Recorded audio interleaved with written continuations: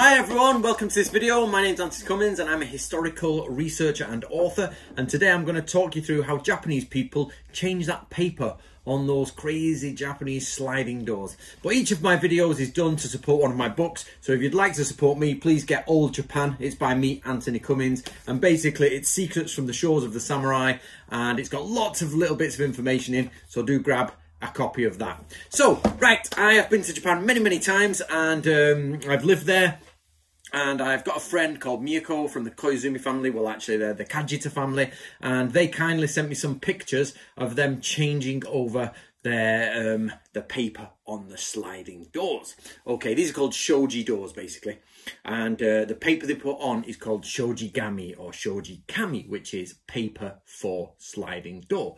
These are normally your sort of they're ones that let light in. There's other ones that are solid uh, on the outside and they basically stop storms coming in. You then get the inner ones, the shoji, which are for letting the light in and then you get internal ones which are called fusuma and they actually shut off the areas so that you can sort of have a bit of privacy. So first of all what do they do?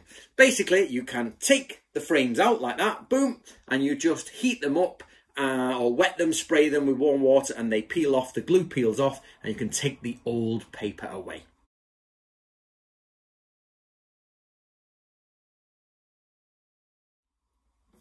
What you need to do is buy this.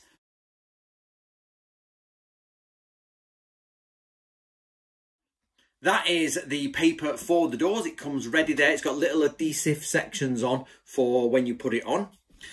Your next step is, of course, is to lay it over the frame and you will then steam it with an iron uh, with so, so with steam and it makes the glue stick to the wooden frame.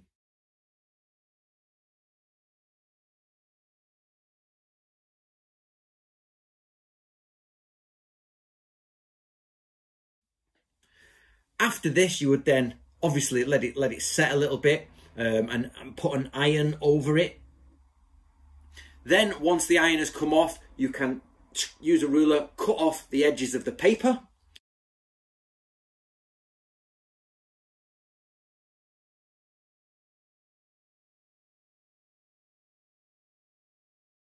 You then spray it to get it wet again.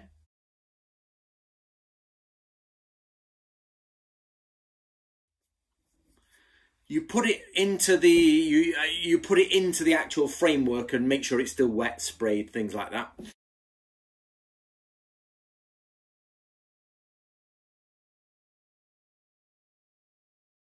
And then you await for it to dry